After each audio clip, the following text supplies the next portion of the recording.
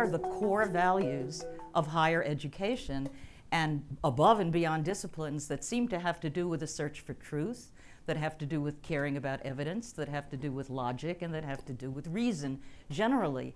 Now, I think I don't have a solution for this, but it seems quite reasonable for institutions of higher education to care about those standards and to see, again, we'll quote another, uh, this time it's Mark Twain. Um, the trouble with the world is not that people know too little, but that they know so many things that ain't so. so we live in a world where there has been a, it, this has always been the case. I mean, Mark Twain wasn't born yesterday. But how this has been amplified by the, by the uh, information technology world within which we live.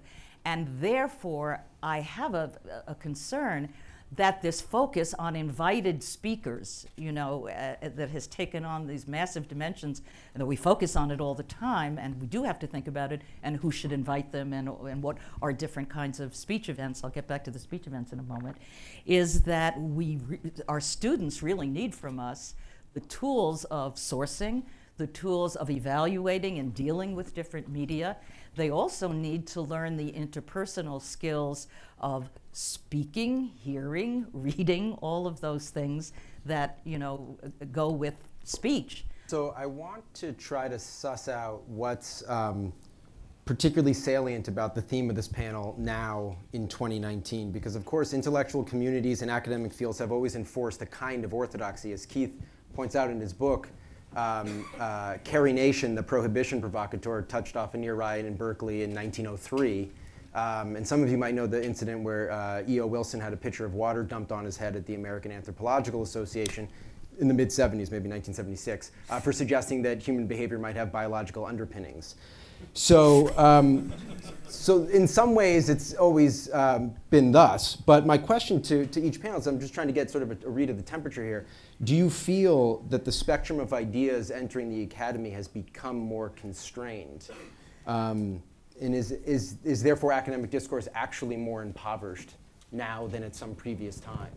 I think in part academia has to be committed to the idea um, that uh, it, it, needs to be a porous system in which it's possible for people with dissenting views, uh, heterodox views, um, to enter into the academy, be successful in the academy, be able to mount research and teaching um, uh, questions that are outside the mainstream, uh, not only of American society more generally, but even of their own uh, disciplines. Um, that we're not going to be able to progress if we, if we shut out um, those kinds of internal criticisms and dissenting voices uh, from the get go.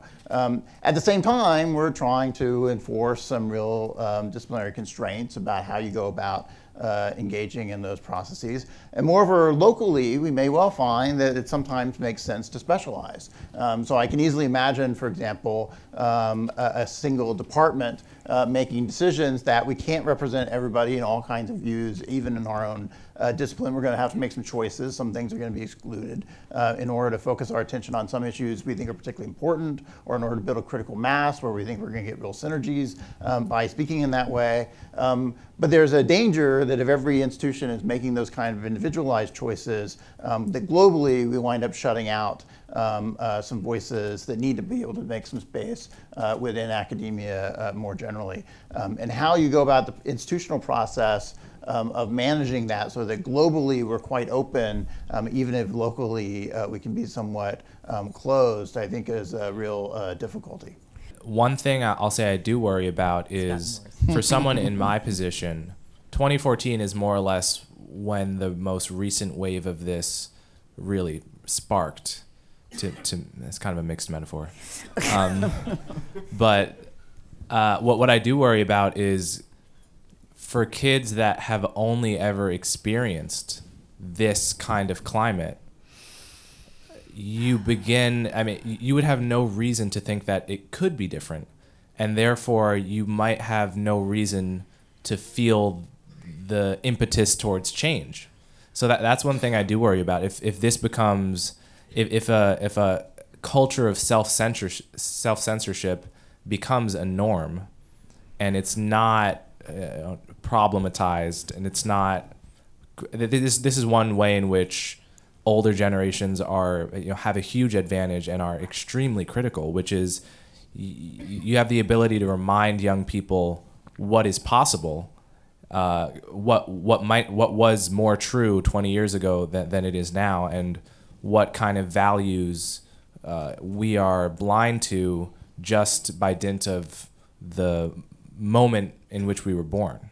If, if I could just add to uh, what Coleman said, that is kind of an argument. I think you are quite right in saying what students need to do, in the, what they students can do and need to do.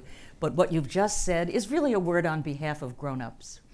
And that is to justify the fact that there are those of us that are actually uh, get, getting paid and others that are paying. So there should be something of value um, uh, that we're contributing. And, and by the same token, when faculty members do not behave like grown-ups, but behave like trolls online. And instead of observing certain, how can we actually be teaching when we say these things? On how is it different from what we might say over adult beverages in our living room, not online? Uh, I think that's a really major problem these days, is how a lot of faculty members behave online, which is not professional and not remotely grown up. I often feel that the, our administration can be led around by very small groups of students who are expert at taking offense. Mm-hmm. Um, and are know seem to all know the chancellor's personal email address. um, and but at the same time, they understand that we have a weakness as administrators. That you know we have a vice chancellor for equity and inclusion. It's part of our institutional value, and they know how to get our attention. Um, that tail can wag the dog constantly. We have a silent majority in our university, and I would imagine the same the same is true for many of you. But still, Evan, you ignore them at your own risk mm-hmm. because they're the ones who are going to be camped out in front of the chancellor's house in a hunger strike. Mm-hmm. They're the ones who are going to turn to the media. Um, and they're a part of the community. Uh, and so there, it's a delicate balance. Um, and we're co- you just need to constantly question yourself and find ways of understanding what the student body thinks. I would love to have some the resources to do polling every two, three days. What do you know? Where did you hear it from? What do you believe? Are we doing the right thing? We do it instead of just randomly like, oh, the chancellor got three emails and is that. Um, it's a huge problem that we actually don't know what the majority of our students think or how they're, you know, how they're receiving these things. You know, Berkeley is seen in a very stereotypical way. I have never, I've been there 15 years. I've never been to a protest where there were more than a thousand students out of 30,000. And so I remember being asked by a reporter once at one of those demonstrations, what's the administration thinking about today? And I said, we're thinking about the other 29,000, right? But could we ignore those thousand? No, even though they was a tiny percentage of our student body. It's just a fact of life on a big public university.